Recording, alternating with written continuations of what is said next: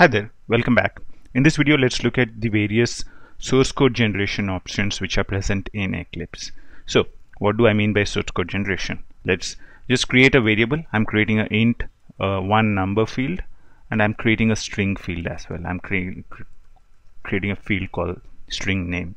I mean, these are uh, like these are inside a bean. I would want to make them private. So, I'm making them private uh, if I want to generate the getters and setters for this let's say I want to generate the method get number and set number and the same way get name and set name uh, Eclipse provides us with easy options. The shortcut is alt shift and S.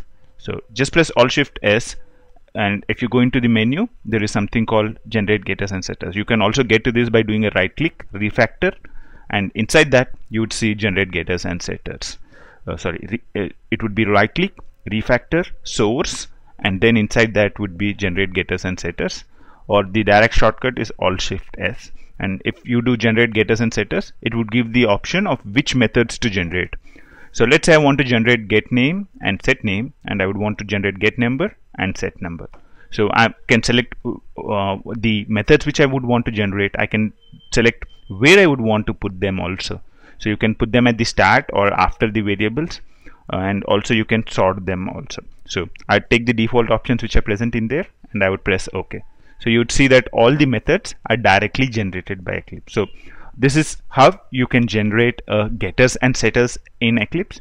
Next we would look at how to generate a toString method. So let's say I want to generate toString method.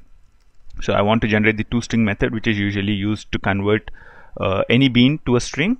So I would uh, the way it is done is the same way which is we have done earlier alt shift s uh, but you need to select the option generate to string uh, the good thing of about generate to string method in uh, in Eclipse I mean the generate to string option in Eclipse is that it provides you with options so you can either do a string concatenation or you can use a string buffer or you can use chained calls or use string dot format so there are a number of options which it gives you to generate the to string method. I'll just show you the first two options. So if I use string concatenation and generate the to string method you can see that it just appends as a string and it would give you the to string method.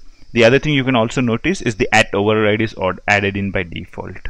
So that's one way of generating the toString. The other way of generating toString is Alt Shift S. I'm going to the same thing, generate toString. Uh, I, now I would want to choose string builder and string buffer. So if you look at it now, it uses string builder to generate the toString function. So there are a few other options also in toString. You can try them at your free time. And next we would move on to the other option which is present in Eclipse. Similar to toString you can generate uh, even hash code and equals methods. So I can say generate a hash code for these two and it would generate the hash codes and equals methods for these two things. So if you want like if you don't have the time to implement a hash code or equals probably you can start off with this and you can make the appropriate changes that you would need to make for those two functions uh, if you look at the other options which are present in there you can even generate constructors. So if I want a constructor in this with these two variables I can say uh, I can choose which variables I would want in the constructor and also I can say where I would want to put it. Usually the constructor would be the first one so I'd put it at the top. So you'd see a constructor is created it calls super and also now I can create the bean by using uh, the constructor passing in a number and a name.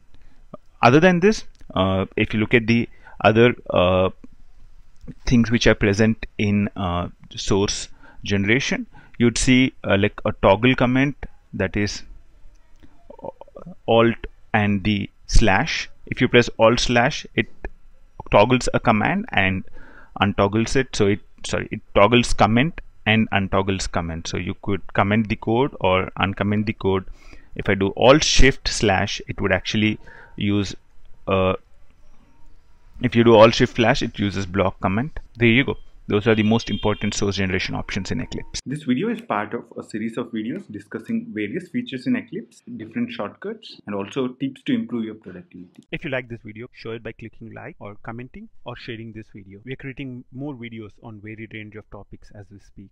Subscribe to stay updated. Thanks for watching. Until next time, bye.